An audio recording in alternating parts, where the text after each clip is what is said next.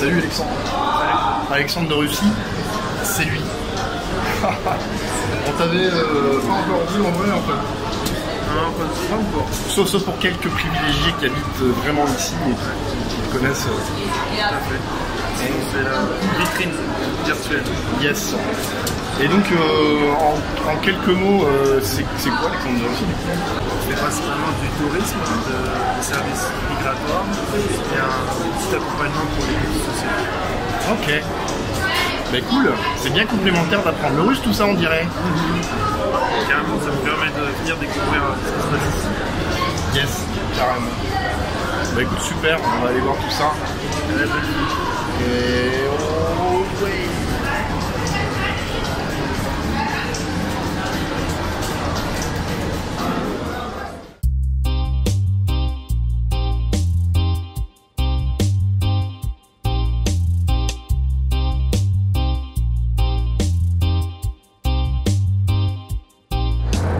Salut, bienvenue dans cette euh, nouvelle vidéo. On est à Moscou avec Alexandre de Russie. On est en, plein cœur de Moskva City, Moscou City. On vient de redescendre de 334 mètres de haut avec une vue hallucinante. Tu vas en voir des images dans quelques instants pendant qu'on parle ensemble. Alexandre, euh, très content de te rencontrer. De même. Donc ça fait un petit moment que je te vois évoluer, euh, plusieurs années même d'ailleurs, Mhm. euh, sur, sur le net. Que je, et puis dernièrement, ces derniers mois, j'ai trouvé que, parce qu'il n'y a pas grand monde en fait sur le monde franco-russe du web, Oui. il y a souvent des gens qui disparaissent au bout de trois mois, ou au bout d'un an ou deux ans, et peu de gens qui, qui tiennent sur la durée. Et toi, tu fais partie de ceux qui sont là depuis longtemps dans le paysage. Et j'ai trouvé que dernièrement, tes contenus étaient euh, de, bah, de plus en plus intéressants.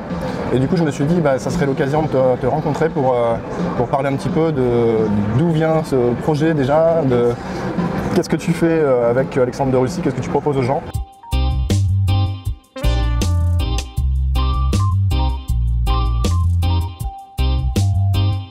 Bah, ça fait déjà 10 ans que je suis en Russie.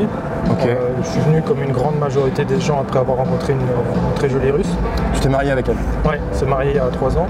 Yes. Et, euh, et maintenant j'ai un permis de séjour et c'est parti, ça fait infini. D'accord. Donc tu es installé là-bas, vous avez votre vie ici, je crois que vous avez, un enfant Ouais. en route. euh, Ouais, c'est ça. C'est ça, on est en place quoi. Et il y a à peu près 5 ans, on a monté la plateforme du coup, qui s'appelle Alexandre de Russie. Mhm. Euh, et concrètement, réellement, depuis un peu plus de 2 ans, euh, je m'en occupe à, à plein temps. D'accord. Et euh, c'est pour ça que, comme tu as dit, ça, ça commence à bouger et il y a beaucoup d'articles qui sont publiés euh, très régulièrement. J'essaie de garder un rythme d'environ 5 par, par semaine. Pourquoi Alexandre de Russie C'était quoi l'idée au départ de, de ce projet-là? En fait, on a démarré dans l'appartement de mon ancien partenaire qui s'appelait François. François. D'accord.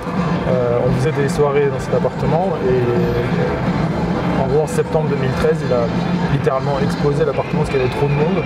Ah, c'était un truc entre copains avec des soirées au début Ouais, c'était grosse soirée. Des euh, soirées franco-russes et de plus en plus de monde. Quoi. Ouais, plus de 150 personnes dans un appartement. Euh, on est passé dans un bar et on a continué les soirées. On faisait une soirée tous les mois et on s'est dit qu'on va mettre nos connaissances pratiques sur la Russie, sur un site internet. Et c'est comme ça que, le, que le- la plateforme est née. Et après, le nom découle en fait parce que l'appartement était situé sur la place Pouchkine, donc il s'appelait Alexandre. Alexandre Pouchkine parlait français. Donc euh, il y avait ce, ce nom qui. Qui rôdait un peu. Ouais, qui a une connotation un peu internationale. C'est français, Ouais, euh, ouais. anglais, espagnol, ça- ça- ça se traduit facilement dans toutes les langues.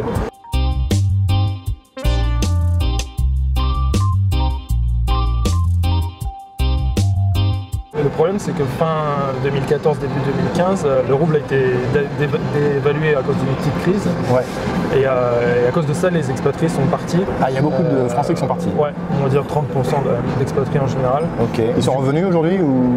Pas trop. Petit à petit, mais pas, pas trop. Ouais, d'accord. Et du coup, euh, les expatriés venaient moins. Donc, faut pas se mentir, c'était beaucoup d'hommes. Il y a pas beaucoup de femmes d'expatriés, ou à la rigueur, les femmes des expatriés. D'accord, ouais. Et euh, du coup, ils, venaient plus aux soirées, on va dire francophones.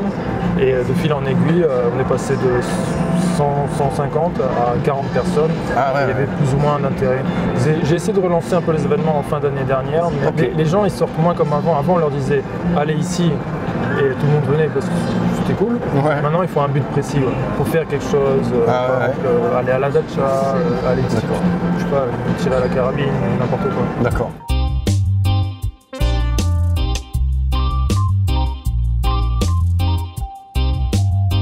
Il y a toujours eu une, une attirance de la Russie, euh, de, par, de par un peu ce côté euh, on va dire mystique ou euh, intrigant.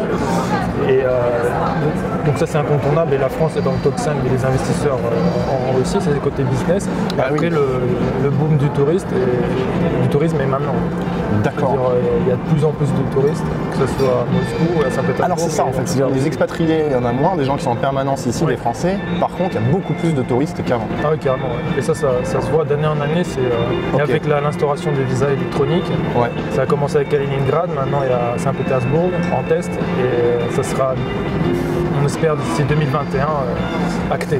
J'ai quand même un petit peu une question parce qu'on peut depuis la France se la poser avec toutes les sanctions, les conneries de la diplomatie française qui se sont enchaînées depuis euh, nos quatre derniers présidents. On peut se dire mais euh, les Russes ils en ont pas un peu marre des Français? Non mais la relation France-Russie a quand même euh, plusieurs siècles, Ouais. c'est plusieurs siècles d'amitié.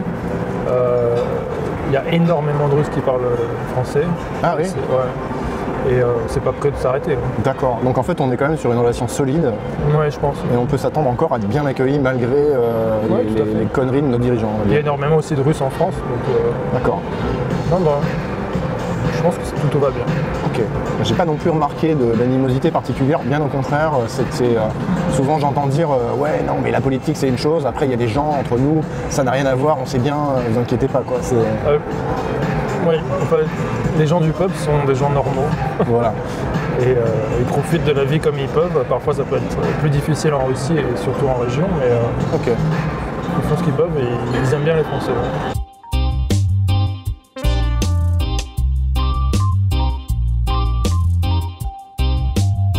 À Moscou, vous pouvez passer trois jours comme un mois et, vous, on peut remplir tous ces jours sans, sans problème. Saint-Pétersbourg, pareil. Après, si vous vous donnez un peu plus de temps, vous faites un itinéraire un petit peu différent, on peut imaginer aller dans, dans l'anneau d'or. Là, il y a plein de villes princières qui sont magnifiques, Ouais. euh, surtout par Souzdal par exemple. Et on peut aller jusqu'au fin fond de l'anneau d'or, à quelques 600 km de Moscou, et être en plein milieu de la forêt et, et- et vivre euh, dans, dans des maisons en bois magnifiques. quoi. Ça, c'est vraiment des paysans. Il Sachant que ça pose pas de problème logistique particulier, il faut juste avoir un peu de temps, c'est tout. Tout fonctionne. faut être un peu aventurier. Mais ça fonctionne, je veux dire, les transports euh, sont. Ah ouais, les trains, c'est les plus efficaces au monde, on va dire. Et du coup, toi, tu proposes des choses euh, dans, dans, cette- dans cette euro-là, enfin, de ce. Oui, on fait des voyages sur mesure de un jour jusqu'à plusieurs jours euh, dans la d'Or et dans- à Moscou, autour de Moscou. D'accord. Après, on va dire, il y a les, les tours, les visites classiques Du centre de Moscou, de ce qu'il y a autour, de quelques musées. Et après, pour les plus aventureux, on peut aller euh, plus loin dans la Nord d'Or ou euh, voir des choses euh, différentes autour de Moscou, comme certains manoirs où a vécu Pushkin quand il était jeune. ou- Ah ouais, ouais, ouais. ou des très belles cathédrales au sud de Moscou, jusqu'au même au domaine de Tolstoï. Ah oui, il y a ces propriétés où il y avait une espèce de, de rassemblement d'artistes et peintres et écrivains aussi. Ouais, ça c'est à Abramtsevo, à Vantsevo, euh, au- à l'entrée de l'anneau d'or. D'accord. Donc toutes ces choses-là sont complètement accessibles et on peut y aller. Ouais. À partir du moment où on décide d'y aller, on y va. Quoi. Oui, Alors c'est ce que tu me disais un petit peu en préparant un peu l'interview, c'est que finalement, euh, en fonction du temps qu'on a, bah, l'idée c'est de sélectionner selon ses goûts, de, de se préparer un petit peu à l'avance et, euh, et de se dire, bah voilà, j'ai que 5 jours, j'ai que 6 ou 7 jours. 3 jours c'est vraiment le strict minimum parce que là, être obligé de vra- vraiment sélectionner. Mais euh, il y, en a pour tous les goûts, quoi, en fait. oui, tout à fait. Moi je vois euh, beaucoup de mes, mes clients, ils- ils- dans leur planning, leur pré-planning, on va dire, ils mettent euh, le bunker 42. C'est quoi, c'est le bouquin 42 C'est un bunker stalinien à Taganskaya, mais. Honnêtement, c'est une attraction touristique avec Ouais. pas grand chose. À la place d'aller là-bas, ça coûte quand même cher, j'estime. Ouais. Et, euh, il est préférable d'aller par exemple au parc euh, au musée de l'espace, des choses comme ça. C'est Ah beaucoup mieux. Déjà, c'est Extraordinaire. historique. Ah euh. Vous verrez euh, Laika, Strelka, d'autres choses sympathiques. La petite capsule boîte de conserve de Gagarine. Déjà, on se demande même comment il a fait pour rentrer dedans tellement c'est petit. Mais il était pas gros, Il le gars, était hein. petit. Il était pas gros, c'est ça en fait. Il n'était pas grand.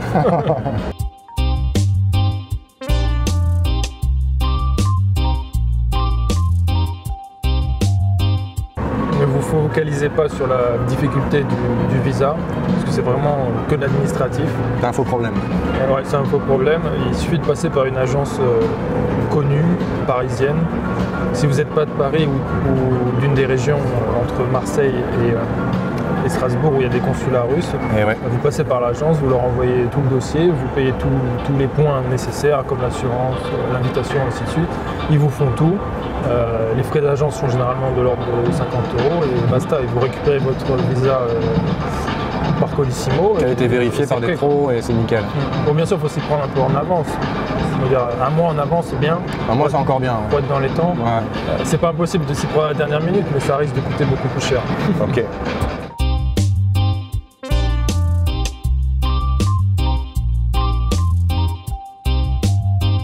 Dépend de ce que vous aimez faire, si vous aimez euh, le sport, l'histoire, euh, voilà, l'art. la a- cuisine ou. euh, Oui, ou la cuisine. Ouais. Bah, déjà, en cuisine, vous pouvez goûter bah, déjà, la nourriture russe qui est assez fournie. Mhm. Après, les nourritures du Caucase qui sont spéciales et très bonnes. Ouais. Euh, en sortant de Moscou, euh, il y a des palais à voir euh, magnifiques. Mhm. Par exemple, le palais de Arkhangelsk. On, on peut montrer ton thé là juste deux secondes parce que c'est quand même un truc qu'on voit pas du tout chez nous.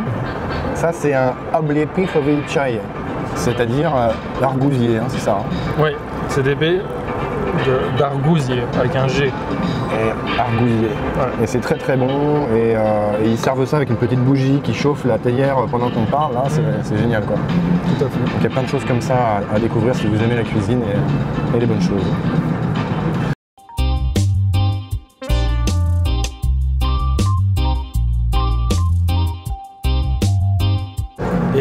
Qui sont passées en, en novembre 2019 qui facilitent un peu l'obtention des, des permis de séjour. D'accord. Mais les conditions restent les mêmes. Il faut être marié à un ou une russe, Ouais, ouais. avoir euh, des enfants russes. Ok. C'est une deuxième condition. Autrement dit, il faut être motivé. Enfin, clairement, les Russes prennent pas les, les touristes pour l'installation complète et Non, c'est l'immigration sélective quand même. C'est important de le dire, je pense que Ouais. c'est. Ouais, vous pouvez pas juste décider de venir euh, Ouais. comme ça. Ça veut dire aussi que vous êtes investi, que vous avez un projet qui se développe et que c'est intéressant Ouais. de. Voilà, il y a vraiment Vous travaillez aussi depuis euh, un certain temps avec un permis de spécialiste euh, hautement D'accord. qualifié. Et ça, ça peut amener à un permis de séjour. C'est-à-dire que sur ce point-là, la Russie fait un petit peu attention à qui elle laisse rentrer. Quoi. Oui. Elle, elle veut que ça, lui- ça lui- ça lui soit utile, en fait, c'est ça Bah, en fait, ils en ont réellement besoin parce qu'ils sont en, en décroissance démographique, sans parler de l'exode rural. Ouais. Les campagnes se vident. Mais totalement. D'accord. Et donc, alors, ces gens qui sont installés, qui ont commencé à travailler un petit peu, ou qui ont fait leurs études, par exemple, en Russie, qui se disent Bon, je resterai bien ici. Quels sont leurs premiers euh, besoins, en fait? Disons que la nouvelle loi euh, dit que vous avez besoin d'avoir travaillé sous un permis de spécialiste hautement qualifié au moins Ouais. 6 mois pour pouvoir après prétendre à un permis de séjour. D'accord, ok. Voilà. Ça, c'est euh, la base. Et le, les plupart des cas, et surtout les plus simples, c'est soit d'être marié, soit d'avoir des enfants. Et c'est une procédure longue à partir du moment où tu le demandes, où tu es éligible pour demander un permis de séjour Non, pas forcément. Si vous y prenez bien et que vous suivez mes conseils, ça peut être euh, assez court. D'accord. Mais il y, a- il y a des délais incompressibles.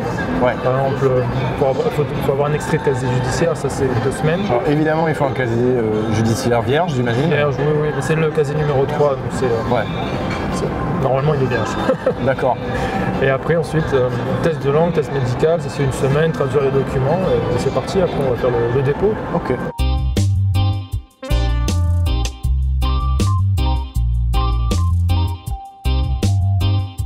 Préférable, mais on, on peut se former assez rapidement pour, euh, D'accord. pour passer le test avec succès. Ouais. Je dirais que c'est un, c'est un détail. Il ne faut pas trop, trop se focaliser dessus. fais partie des gens qui pensent qu'apprendre le russe, c'est pas si compliqué en fait. En tout cas Non, pour, ce... en tout cas pour Faut cette échéance. donner les moyens. Et être assez assidu, et après... euh, Ouais. C'est comme tout, ça s'apprend quoi en fait. ouais, tout à fait. ouais. Très bien, bah écoute, euh, bah, merci pour ces précisions. Pour, euh, comme ça, on a balayé large entre les gens qui, qui cherchent à venir ici pour une première fois, qui à se faire une première impression, à ceux qui veulent y retourner une deuxième, une troisième fois pour aller un petit peu plus loin, élargir leur, leur cercle de leur vision en fait du pays. Et, euh, et puis ceux qui s'installent, quoi, parce que c'est trois étapes finalement d'un d'un chemin qui peut très bien être le vôtre à un moment donné, parce que, parce que voilà, c'est très agréable, ça peut être très très agréable de vivre en Russie, il y a tout le confort nécessaire, il y a toutes les facilités nécessaires aujourd'hui, Ah ouais.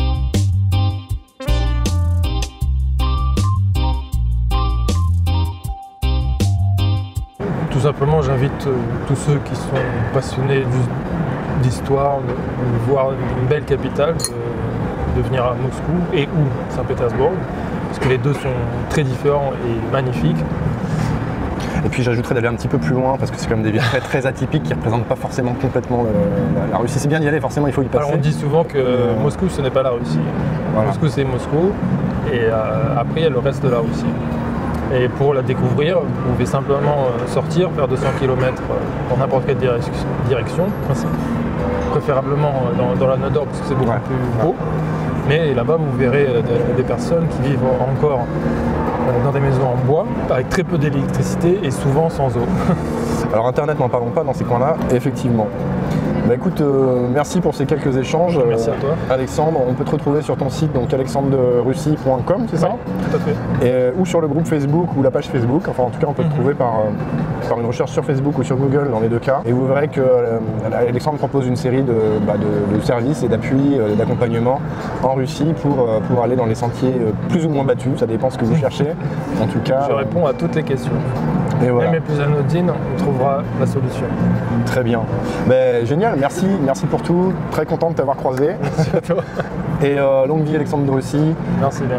N'hésitez pas comme toujours à laisser un petit commentaire, à poser une question, que ce soit ici ou directement sur le site d'Alexandre. Euh, Je transmettrai de mon côté. Euh, si c'est une question pour moi, bah, vous la posez en dessous comme d'hab.